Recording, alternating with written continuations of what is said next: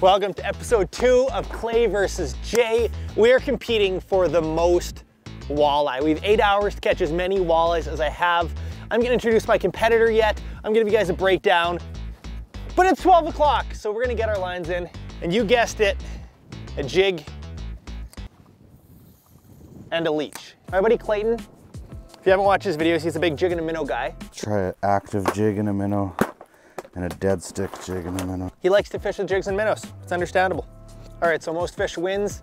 In order for a fish to count, I have to grab it, hold it up to the camera, and, and, and give you the number of the fish it is. So this will potentially get boring very quickly, but I'm gonna try to spice it up, share some, we'll do some story time with Jay, try to teach you guys, maybe catch a big walleye. Who knows, we're going for numbers. Last time we competed, we went for the biggest five fish. If you guys have not seen that video, check it out below. I'm gonna spoil it for you. If you don't wanna know who won, pause the video right now, go watch the other ones. Okay, now if you're done that, I won episode one, five biggest fish. Clayton just had a really tough day. I had a tough day as well, but kind of kind of got on them at the end and uh, got my five fish back to back to back to back going out. We got to get the first couple fish on the board. Things are good. Things are good. Spot locked in 23.9 feet of water. I think Clayton's got a pretty good program going on. I talked to him a little bit about pre-fish. Yeah, Clayton was telling me about 50 fish days, 60 fish days. He was hoping for 80 fish today. So I don't know if I can do 80 fish on this spot. I think a key is gonna be, you know, finding a spot with fish and just staying put. As soon as you're driving, you're wasting that precious time. So, I mean, 80 fish, that's, that's 10 fish an hour. I think that's pretty doable. There we go, number one. Saugers do not count. It's gotta be a walleye, which could hurt me. There we go, boys and girls. Number one in episode two of Clay versus Jay. All right, I'm in it, I'm in it. This is good, this is good. So Clayton gave me some details on his pre-fish and he said that he was finding them really shallow, which is fantastic because they can absolutely stack up in that shallow water and that's where you can have a smash fest. Shallow fish are typically a little more volatile. The wind switches, weather switches, all of a sudden the wind dies down, it can be, it can get a lot tougher. I'm fishing for deeper fish, 20 to 25 feet.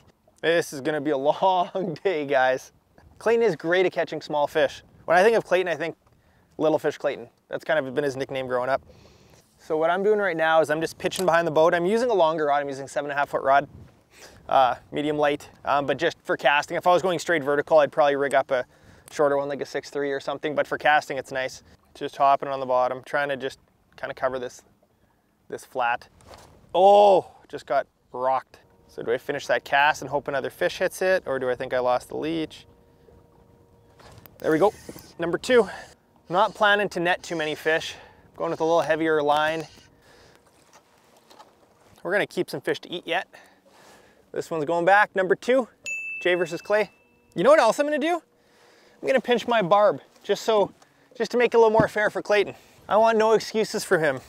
We will lose some bait though. I may use a bait button actually. This little device here has a bunch of little plastic discs and you put it over your hook and right there, it'll keep your leech on or whatever you're using. Every 10 fish, maybe I'll give you a, a story, story time. There we go. Hooked up a little bit better. Definitely a little bit better. Number three, number three, that one is going in the live well. Things are good, we're getting bites every cast, so I got no complaints. Finally, get in the boat. Took a bit for that one. Oh, come on. All right, we're trying live minnow. Hook it through the head like Sam told me to. Hopefully that's the trick.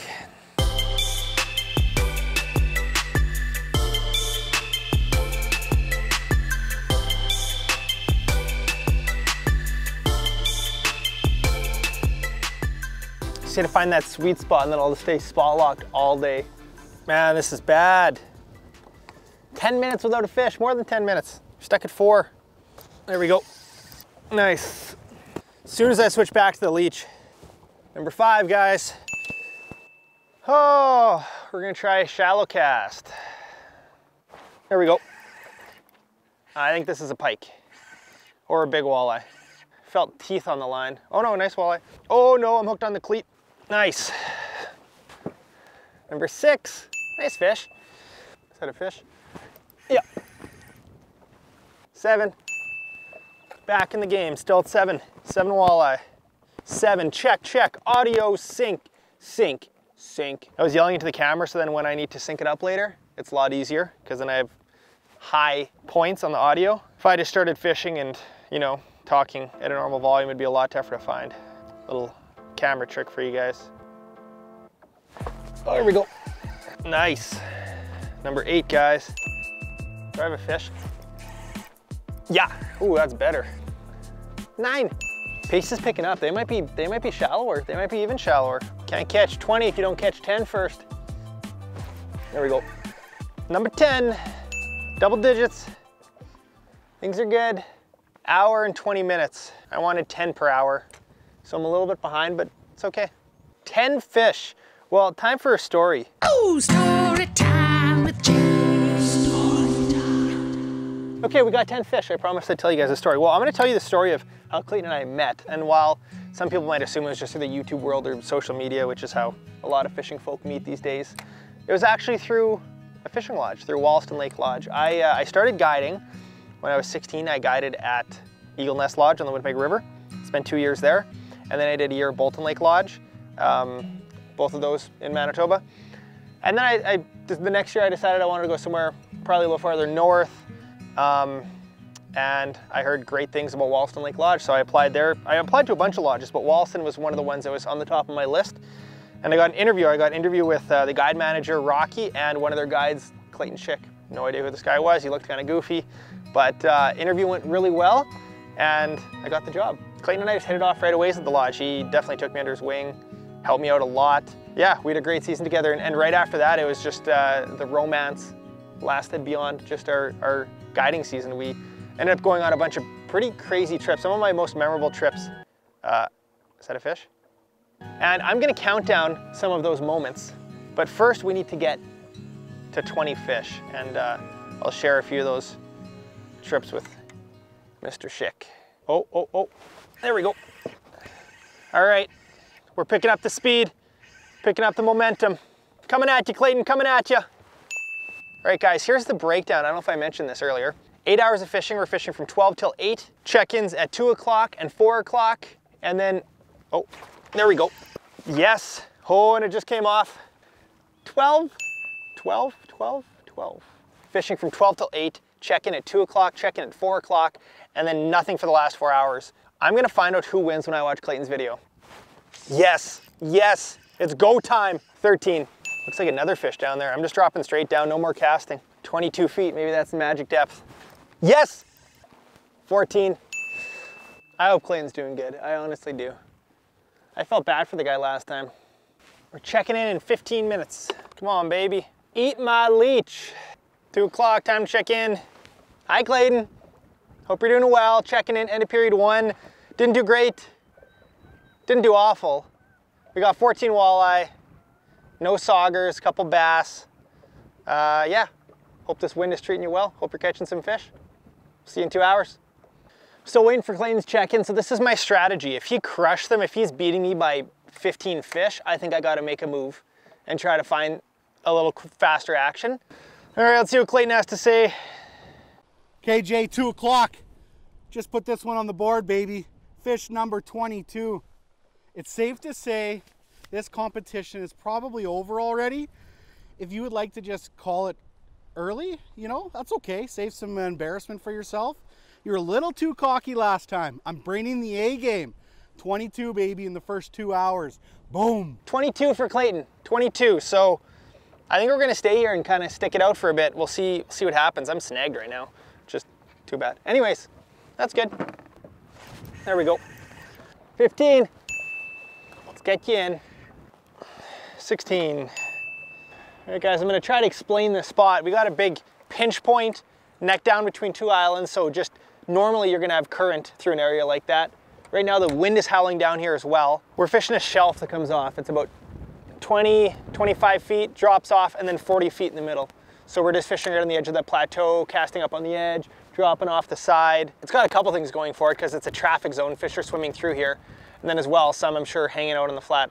So there we go. 17. Just gotta know that, there we go. Very small. This is good, pace picked up quick, 18. Might have found a casting lane. Sometimes you just, you get that lane, you get that cast, and there's just, for whatever reason, it might be the rock to mud transition, but that's where the fish are loaded up. 19, 19, 19, 19. Number 20, finally. All right, we're gonna count down four of my more memorable outings with Clayton. Oh, story Number four. This one isn't as much of a big trip, but it's uh, it's just an evening out at Wollaston Lake Lodge. We're doing some evening fishing, scouting, and uh, looking for Lakers. And Clayton hooked up with an absolute monster. It was his personal best of the time. Fight was just absolutely insane. And uh, it was a 45 inch lake trout. His just huge, huge, probably close to 40 pounds. We didn't weigh it, but um, big orange fins. We were just giddy when we saw that fish for the first time. I'm not sure if I have any video clips, but I do have some pictures. Okay, it's filming. You don't have to do anything, just watch the screen. Is it, is it in focus? Well, there's Clayton trying to fish. Is it in focus? There's Jay with the net. And I think it's in focus, but we're waiting for the trout to come up. It's a good fish, boys. And still waiting. Professional Jay put me on this fish right now. What I do? Quality guiding right there. Dude, this is gonna be a hog. I'm gonna take a leak while we're waiting. Like he won't come up. I smell a personal best. Oh yeah. I smell a lake best. There's bubbles. I see the weight. Oh my goodness, that is huge. Holy That is cow. Giant. Giant. Oh my goodness. This thing is behemoth. Ready? I'm not gonna net it You so ready? close to the lure. You gotta lift them higher. Oh, oh, oh, my goodness! Dude, that thing is unbelievable. Oh wow. Oh my. Look at this Look at the fin on that. And that is number four on my list. With Clayton. We got a fish and it's off. Guys, I've lost so many fish. Clayton was at 22, so he could be just crushing me right now. All right, new spot, new outlook on life. Still stuck at 20. There we go. Finally not a sauger. 21. All right, I think it's time to dig into the Yeti and see what's for lunch today because I haven't eaten anything today. Pepper steak and potato, Campbell's Chunky, or we got creamy chicken noodle. Both sound very good. I Think you're going with the pepper steak and potato to start with the granola bars and appetizer? We got the Jetboil. If you spend a lot of time in the boat, you should have yourself a Jetboil. And it is absolutely incredible. So that's the whole deal right there. There we go. Nice. 23. Not too bad. I think we might have found a new spot. This is gonna be so good. There we go. 24. While cooking lunch. 25. This is the pace we need, guys. 26. That move was key. It's just, there's so many fish in there. I'm getting bites so fast. I want to eat, but it's a competition. So once you guys are done watching this video, Clayton's video is linked down below. That's where you find out who wins. Yes. 27, I think. There we go. 28. I'm in 24 feet of water, pitching up into probably about 20-ish. There we go. 29. On the minnow. 30. Guys, this is a good pace. All right, we're at 30. We got half an hour till our next check-in. I want 40 for our next check-in. And he's in. 31. It's a good sign when you just tighten up your line and he's on it already. Nine fish. We got 25 minutes to catch nine. So guys, this is the setup I'm using today. This is a seven and a half foot medium light NRX. Uh, it's a really whippy rod, really soft. It's forgiving. Uh, that's what I like for this. Like it's a great rigging rod. I like it for pitching these lighter jigs. Yeah, if I was just vertically jigging, I'd use a shorter rod.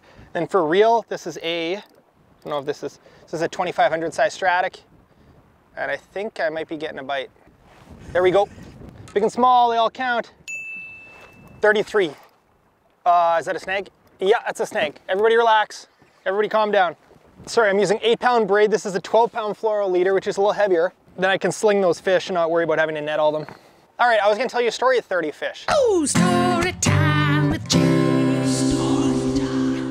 All right, story number three, Clayton Schick. This one was was pretty serious. We decided to go fishing for white sturgeon for the first time. So we took took my parents' Alumacraft 175 Tournament Pro, and uh, we stayed in Chilliwack, fished the river there, and that was our first time experiencing white sturgeon. We're on our eighth day at the Fraser River. We now have four fish over seven feet. Jay's fighting one that probably is gonna be as big or very close.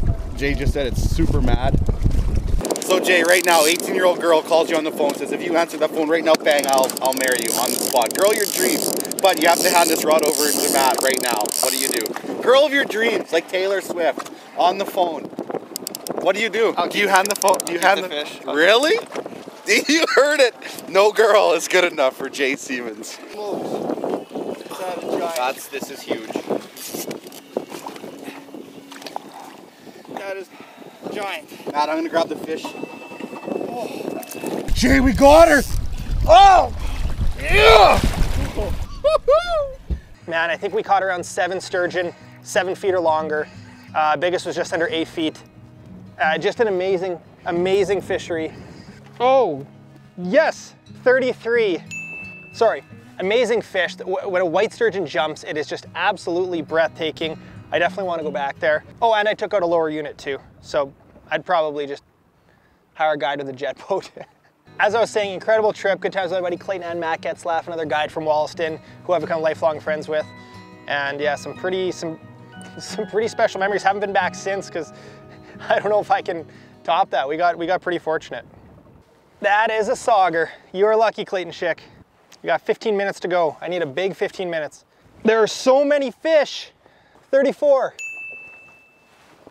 35, 35, 35, 35. Clayton, I'm coming for you.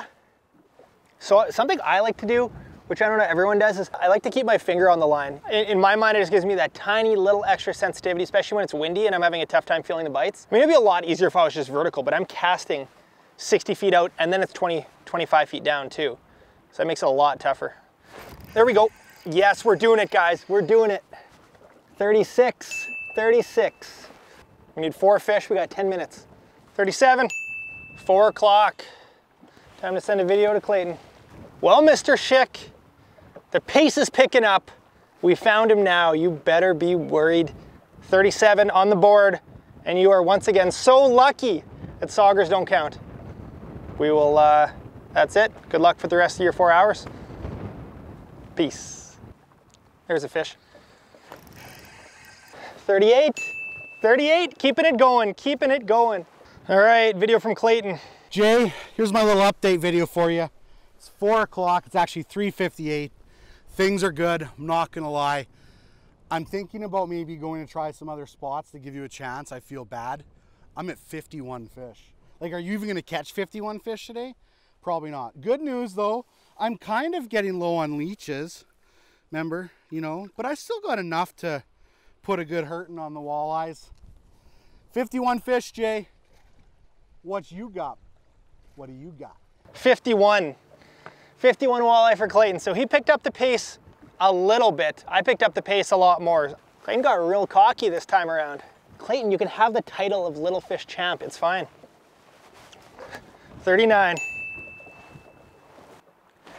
There we go. Looks like a huge perch. Ooh, that's a big perch.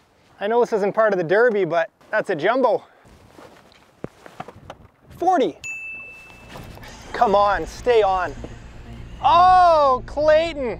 Clayton, I'm just gift wrapping this for you. Come on. The perch are getting bigger. Oh. This is decent. Got heavy all of a sudden. I wonder if like a walleye bit it and then a pike grabbed onto it or something. Because it did not feel that big on the hook set. Oh, yeah, it's exactly what I said. It's exactly what I said, a big latch on.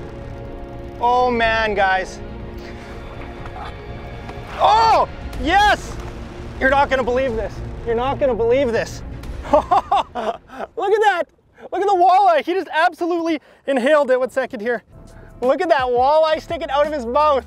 That's a big walleye too. Okay, the walleye counts, but I gotta get him pulled out. we got the walleye out. Guys, look at this. That was so cool. That was one of the coolest things I've ever had walleye fishing happen. All right, the pike swam away, guys. Here's, there's our walleye. I'm gonna get him back as quick as possible. Oh man, I, uh, that, that made the day for me right there.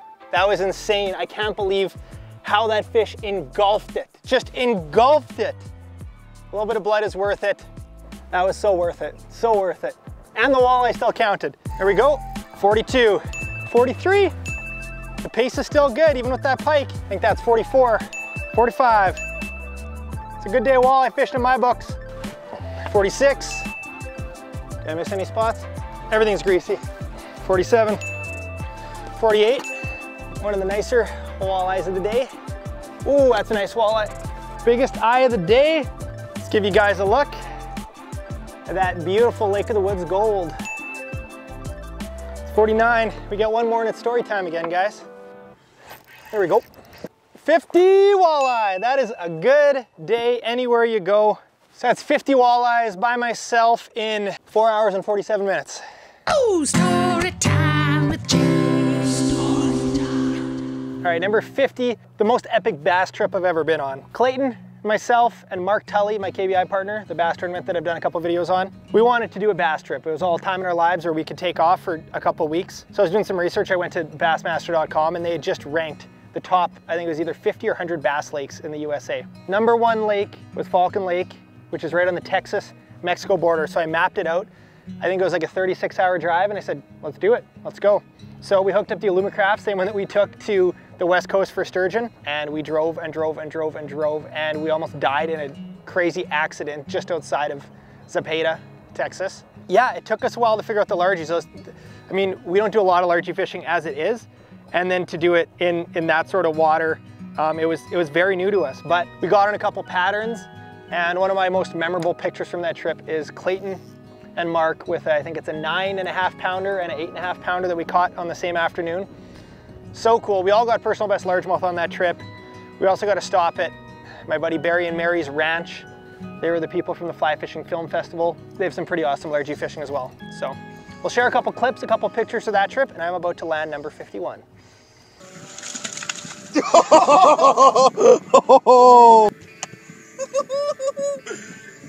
We uh, got one fish yesterday, and uh, today we got out a little bit windier. Jay put us on two really nice fish we're about to pull out. Mark's being the biggest at 9.6. And the end of the day, we pulled out this brute too, 8.5. Yes.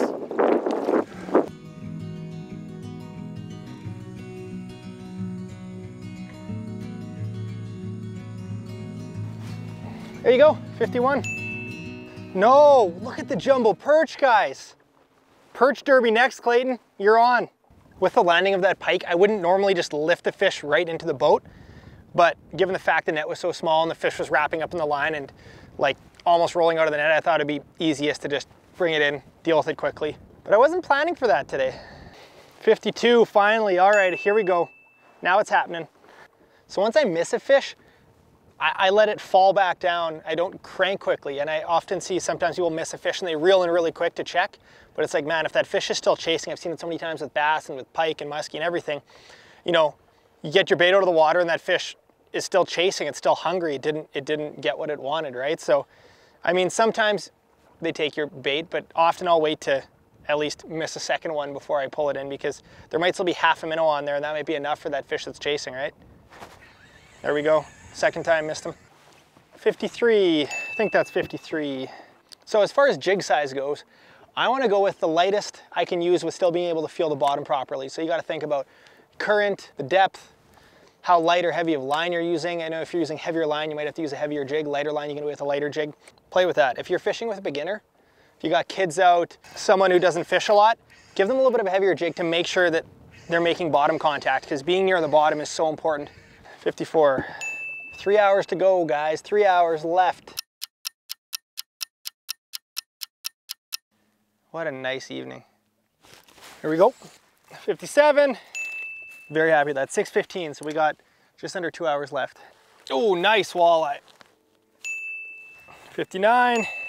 Probably the toughest part with, with tournament angling, competition angling is knowing when to go and knowing when to stay. And that is, it's all about decision making. That's, that's what makes the good guys good. Yeah, it's tough to know how much, how long I should stay here, but 60 walleye. All right guys, 60 walleye. Well, time for another story. This is, this is number one. This is my most memorable trip. Oh, story time with Jay.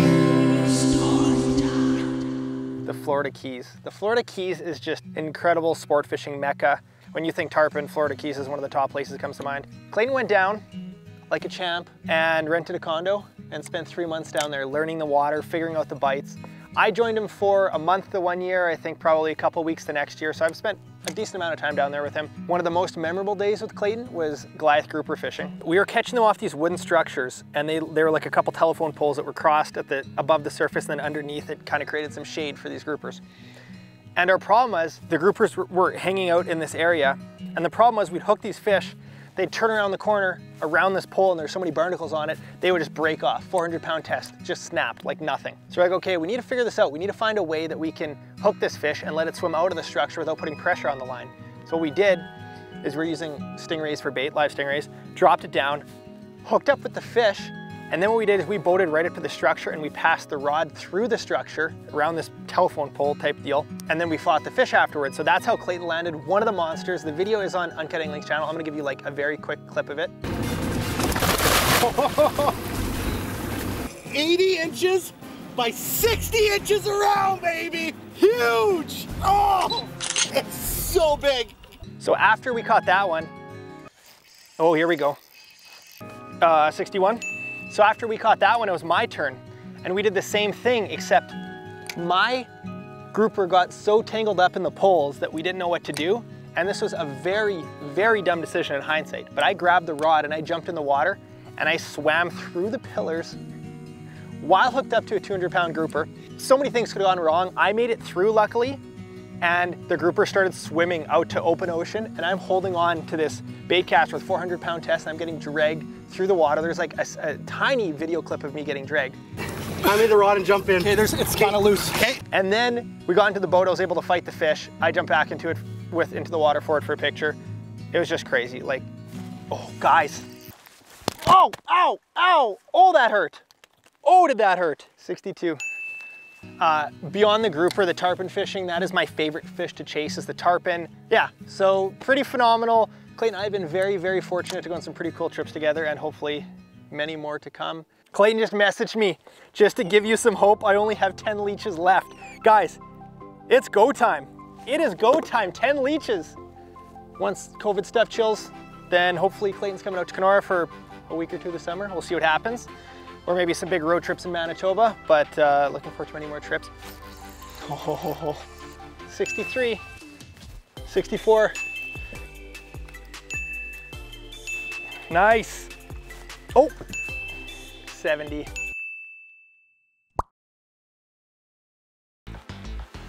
Seventy-one, seventy-two, seventy-four. Look at that cute little guy. 75, 77, 78, 79. Every fish now could be so important if Clayton ran out of bait because he could have come to a standstill for the last who knows how long. He texted me like an hour ago saying he only had 10 leeches left. 18 minutes left. I'm at 79 walleye. Come on, baby. Come on. That is 80 walleyes in eight hours. Jig and minnow, jig and leech. Didn't really matter too much, guys. What a day. All right, we got 15 minutes left. Yes, barely hooked. 81. Unreal. Three minutes left. Come on, let's get it. Let's get it. Let's get it. Come on. Yes, there we go. That's probably gonna be the last one. Number 83.